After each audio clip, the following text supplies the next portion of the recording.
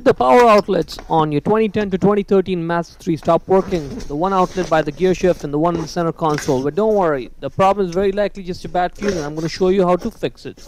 Open the driver's side door.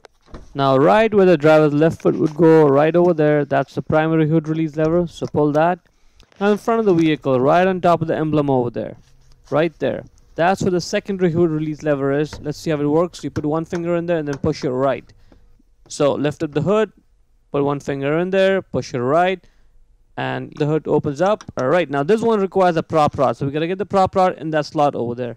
So get the prop rod out, put the rod in the slot over there, and then pull the rod back a little bit to secure it in place. Yep, just like that. Now it's good.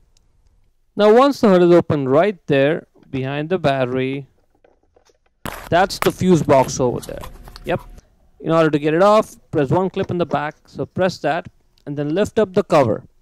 Now there's a hinge that keeps that cover in place. So you're gonna have to wiggle that cover a little bit, lift it and wiggle it, and it'll come right out. It's gonna take a few seconds, so just be patient with it. Yep, just like that. Now once the cover is off, if you look underneath it, that's where the fuse puller is. And that's where all the spare fuses are as well. So get that fuse puller, the white fuse puller out. Now open the driver's side door. That's the panel right there for the secondary fuse box over there. You can get a pry tool or you can just use your car key to pry that cover out, right? It's going to take a few seconds to just be patient with it, right? Pry it out and then pull the cover off and that's to reveal the secondary fuse panel over there.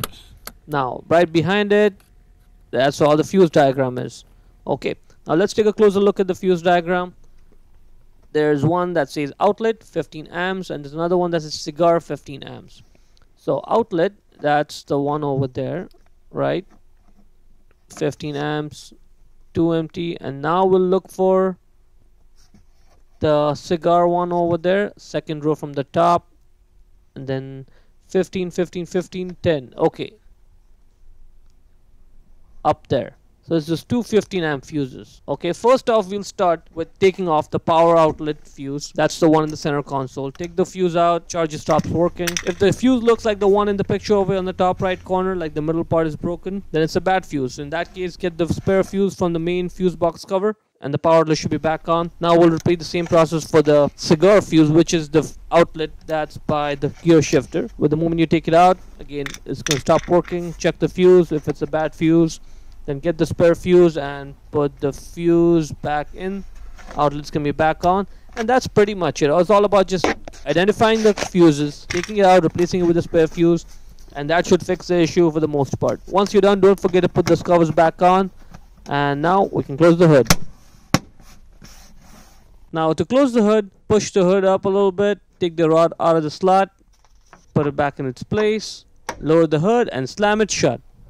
That's pretty much it if you like this video, we got a lot more videos made just for your vehicle. So check out the playlist over there. And if you have a friend or family who can benefit from this video, please share with them. Till then, drive safe and thank you for watching.